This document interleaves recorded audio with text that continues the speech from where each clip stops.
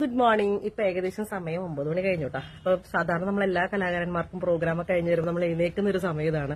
പിന്നെ ഉറക്കത്തുനിന്ന് രാവിലെ തന്നെ അച്ഛൻ എന്നെ വിളിച്ച് എണീപ്പിച്ച് ഏറ്റവും ബ്യൂട്ടിഫുൾ ആയിട്ടുള്ള ഒരു കാഴ്ച കാണണമെങ്കിൽ വരാൻ പറഞ്ഞത് അച്ഛന്റെ നമ്മുടെ വീടിന്റെ പുറകിൽ അച്ഛൻ ചെയ്ത കുറെ കുറെ കൃഷി ഉണ്ട് കേട്ടോ കാണിച്ചു തരാം. അതൊക്കെ ഓരോന്ന് കാണിച്ചു തരാം. അപ്പൊ ഇന്നത്തെ ഏറ്റവും ബ്യൂട്ടിഫുൾ ആയിട്ടുള്ള ഒരു വ്യൂ രാവിലെ എണീപ്പിച്ച് വന്നപ്പോൾ തന്നെ കണ്ടത് ഞങ്ങളുടെ ഡ്രമ്മിൽ വെച്ച് ഞങ്ങളുടെ ആമ്പൽ.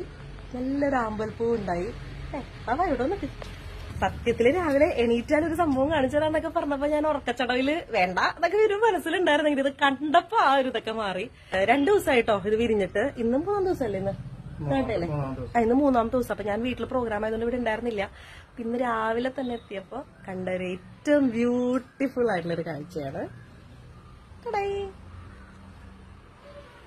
ഇത് ബാക്കി അച്ഛൻ നട്ട് പിടിപ്പിച്ച കുറെ സംഭവങ്ങൾ വയലറ്റ് മുളക്. ഭയങ്കര എരിവല്ലേ ഇതിന്?